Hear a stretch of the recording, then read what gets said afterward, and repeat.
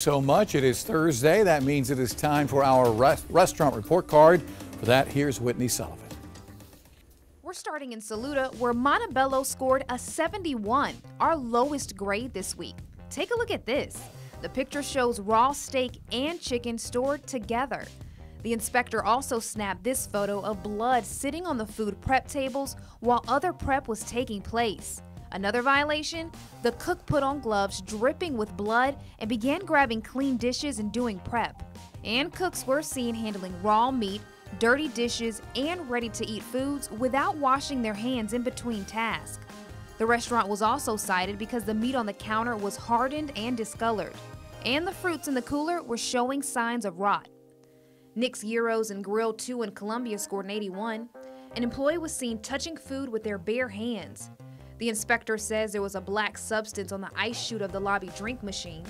The report says they were not holding some of the cold foods like cooked wings, shrimp, and cheesecake at the right temperature.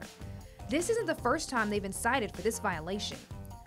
Cracker Barrel on Bush River Road in Columbia scored an 83. An employee was seen touching food with their bare hands.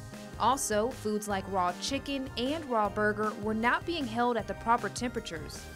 Before we get to the Hall of Fame, a follow-up inspection at D&L Diner. They went from a 75 to a 90. Now to the restaurants that scored 100s. Circle Diner in Leesville and Crisp Catering in Whitmire dished up perfect scores. For Restaurant Report Card, I'm Whitney Sullivan.